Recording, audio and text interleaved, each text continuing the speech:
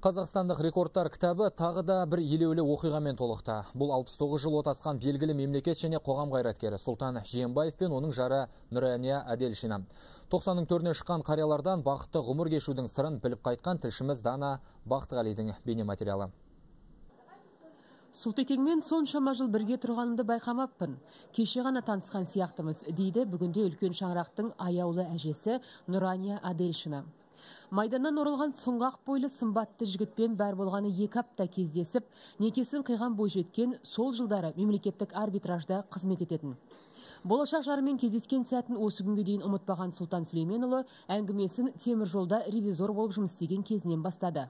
Бардым қарасам арбитр госарбитр велшінде жазып қойған главный ол кезде маған олар енді үлкен көрді бір кезде шақырды шақырды. Осы нұрания онда жап жас мен оны татарка деп ойлаған жоқпын орыстың қызы екен деп ойладым жылы шыраймен қарсы алып түйткілді мәселені қолма қол шешкен нұранияның біліктілігі мен біліміне таң қалған сұлтан аға сол сәтте жүрегінде сезім ұшқыны пайда болғанын жасырмады. Көп ұзамай оны қызмет орнынан мәскеуге алтайлық курсқа жібермекші болады. Бұл жағдай менің тез арада шешім қабылдауыма түрткі болды дейді ақсақал. Жолықтық мен айттым менде ешқандай мәселе жоқ дедім. Бірақ көңіліме жақтың дедім. Егер қарсы болмасаң үйленейік біріміз қалай үйленеміз? Қазір загсқа барамыз.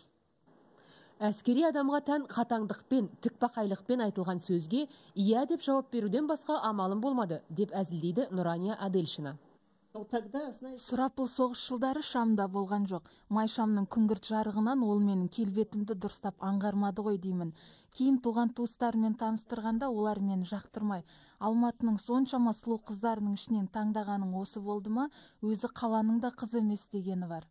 Уақыт өте берік тіреуі. Адал серігі бар азаматтың жұмысы алға басып сұлтан жиенбаев қарапайым ревизордан қазақ кеңестік социалистік республикасының сауда министрі министрлер кеңесі төрағасының орынбасары қызметтеріне дейін көтерілді.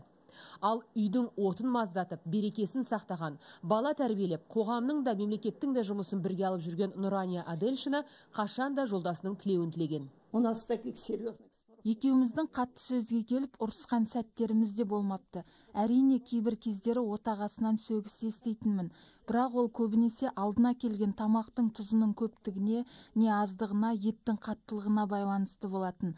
Ондай кездері мен оған қарсы келмей үндемеуге тырысатынмын. Үйден ұзап мәскеуге жиі баратын жолдасын бір сәт есінен шығармаған нұрания оған хат жазудан жалықпайтын. Сұлтан ағаның елдегі жұмысы қауырт кезде әрдайым қасынан табылып қолынан келгенше көмектесетін ол қайын жұрттың да тілін таба білді. Енді міне арамыздағы сыйластық пен түсіністіктің жемісін көріп отырмыз дейді олар.